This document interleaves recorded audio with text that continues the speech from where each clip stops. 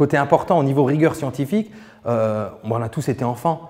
On pense parfois que juste bidouiller, c'est faire de la science. Faire une expérience, c'est juste démonter un poste. Hein, moi, j'adorais, j'ai commencé comme ça quand j'étais petit. Et là, on leur apporte cette rigueur scientifique, c'est-à-dire, ben, c'est quoi un protocole pour, pour les élèves? C'est de dire déjà à l'avance, voilà l'expérience que j'ai envie de mettre en place, voilà les différentes étapes, et qu'est-ce que je vais noter comme variable, qu'est-ce que je vais prendre comme données, comment je vais récupérer tout ça et comment je vais poser les choses d'une façon précise. C'est tout sauf du bricolage. Et ça, les élèves s'en rendent vite compte au bout de 2-3 séances d'expérience qu'il y a une précision, il y a une rigueur demandée et on les y amène chaque fois. Alors au niveau scientifique, au niveau langagier aussi.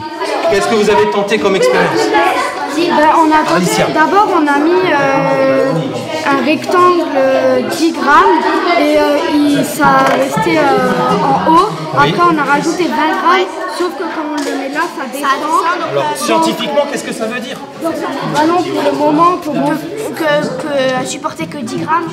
entre 10 et 20. Donc là, vous êtes d'accord, on est dans la précision scientifique, c'est exactement ce qu'on veut. Donc on amène ce, vocabulaire petit à petit aux élèves euh, sur les variables, sur les biais scientifiques, sur le protocole scientifique. Et on espère que ça rentre au fur et à mesure des séances. Et il y a des choses qui ressortent, donc c'est intéressant d'amener cette rigueur-là à plusieurs niveaux.